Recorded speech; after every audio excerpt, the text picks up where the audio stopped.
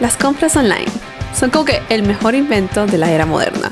Puedes hacerlo de tu casa súper cómoda y conseguir las mejores ofertas. No solo eso, sino que también puedes comprar con calma, planificando tus compras y ahorrando mucho más. Pero yo sé que comprar online puede a veces resultar complicado porque hay como mil cosas que tener en cuenta. Pero tranquilas, en este video les voy a enseñar como las cosas más importantes que tienen que tener en cuenta para comprar online, bien sea en tiendas internacionales o nacionales, para que sus paquetes lleguen directo a su casa. Ok, así que comprar por internet es sumamente fácil. Yo sé que puede parecer muy complicado, pero en verdad solamente vas a necesitar básicamente dos cosas. Y eso es una tarjeta de crédito. En muchos países puede incluso ser débito. Y si eres de Venezuela yo sé que es un poco más complicado, así que revisa el link que te voy a dejar abajo con un video solamente para personas de Venezuela. Y mm, si no tienes tarjeta de crédito tuya, puedes utilizarla de tus padres, obviamente con autorización, no tiene que estar a tu nombre. Y necesitas también una conexión a internet, puedes utilizar la de tu casa, una computadora, puedes comprar incluso por el teléfono hoy en día. Otra cosa, si no tienes tarjeta de crédito, puedes utilizar también una cuenta de PayPal, pero PayPal es un poquito complicado de utilizar porque tienes que unirlo a un banco, así que eso puede ser como más difícil. Yo simplemente utilizo la tarjeta y aquí tengo la mía que se las quería mostrar porque es Hello Kitty, es la cosa más adorable del planeta. Y hay bancos que hacen eso, que te dejan elegir como muñequitos y cosas así. Hay muchísimas páginas en las que puedes comprar en internet. Hay páginas, obviamente, las que a mí más me gustan son de ropa, porque soy una niña y me gusta comprar ropa. Pero hay páginas de electrónicos, hay, hay páginas así como Amazon que puedes comprar muchas cosas al mismo tiempo y te las mandan a una dirección. Pero yo creo que una de las cosas que la gente más se pregunta es cómo saber si la página es segura, cómo saber que es una página que no te van a robar. Y una de las cosas que puedes hacer para asegurarte que la página de verdad es una página que te va a enviar tu mercancía es buscar en internet. Entonces digamos que tú te encuentres con una página, por decir una cosa, mariale.com, tú pones en Google mariale.com y puedes utilizar palabras como fraud, legit, scam, todas esas palabras claves que cuando vas a buscar los resultados, si encuentras algo que la gente está diciendo, esta página es un fraude, esta página es legítima, esta página me robó, te va a salir. Si no encuentras nada es porque la página funciona perfectamente y vas a poder comprar en ella y te va a llegar tu mercancía sin ningún problema. Ahora, otra cosa que es como que mm, tal vez esta página no sea tan buena es si acepta pagos nada más por Western Union.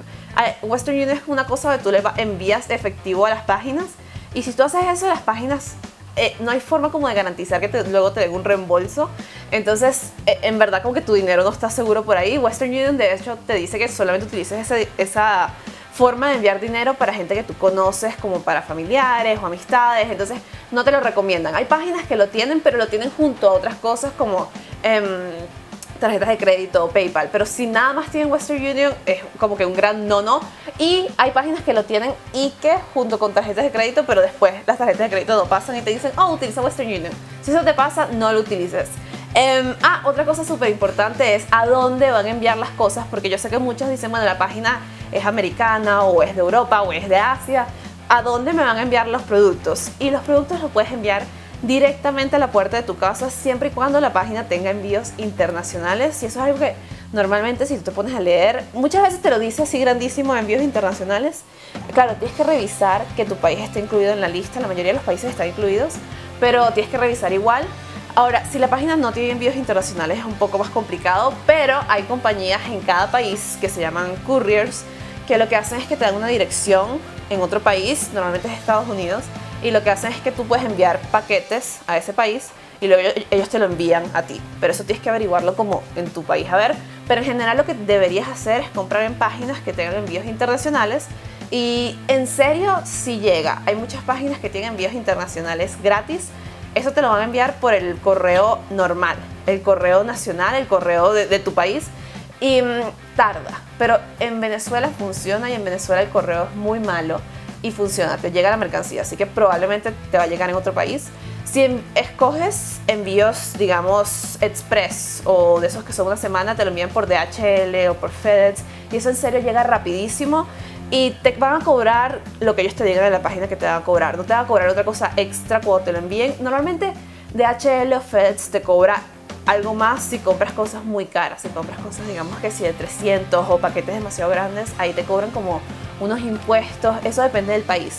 Pero en general con paquetes como esto, que aquí hay como 5 piezas de ropa, no te cobran absolutamente nada. Entonces de verdad vale la pena utilizar esos servicios porque te va a llegar a tu casa, solamente pones en realidad la, la dirección de tu casa y te llega a tu puerta y no tienes ningún tipo de problema. Así que no se preocupen porque, ay, no me va a llegar, se va a perder. Si te llega a la puerta de tu casa, ellos te dan un número de guía con el que puedes revisar.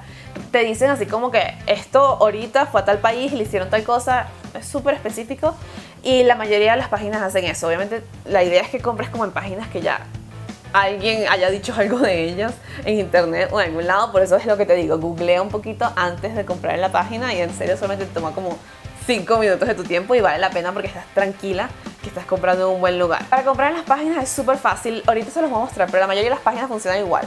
Usualmente te hacen crear una cuenta solamente para que se te haga más sencillo si luego vas a volver a comprar, entonces queda como que tu información ya guardada y compras que sí con un solo clic, pero también te permiten comprar como invitado y mm, simplemente pones toda tu información ahí y luego eliges lo que tú quieras y haces el checkout, es decir, compras todas tus cosas y pones tu dirección y ellos te lo mandan. Pero bueno, yo les voy a hacer un ejemplo con una página, pero en serio la mayoría funciona exactamente igual. Ok, y les voy a enseñar cómo comprar en Forever 21, que es una tienda de ropa buenísima. Si no la conocen, les sugiero que la visiten. Tienen de todo y funciona básicamente como cualquier otra tienda. Entras y esta es como la página principal yo voy a elegir un top para comprar, es un top básico negro. Y normalmente todas las tiendas te muestran como reseñas que te dicen qué opina la gente sobre ese top. Y también te dan para elegir entre distintos colores y tallas. Yo acá voy a elegir negro en talla mediana porque esa es mi talla y siempre compro cosas negras. Y una vez que hayas hecho tu selección, lo que quieres hacer es add to bag o añadir al carrito o a la bolsa y quieres asegurarte que te aparezca arriba en tu carrito o bolsa. Depende, cada tienda utiliza una palabra distinta. Y luego te vas a ir ahí y asegurarte que esté adentro, o sea, seleccionado para comprarlo. Puedes continuar comprando agregando más y más cosas, yo voy a dejarlo así. Y ven que acá arriba te salen como los pasos que tienes que seguir, que es básicamente comprar, luego la dirección de billing, que es a donde te van a cobrar, de shipping, que es hacia donde van a enviar las cosas. Y por último, por supuesto, el pago. Una vez que estás lista para comprar, vas a hacer lo que ellos llaman checkout.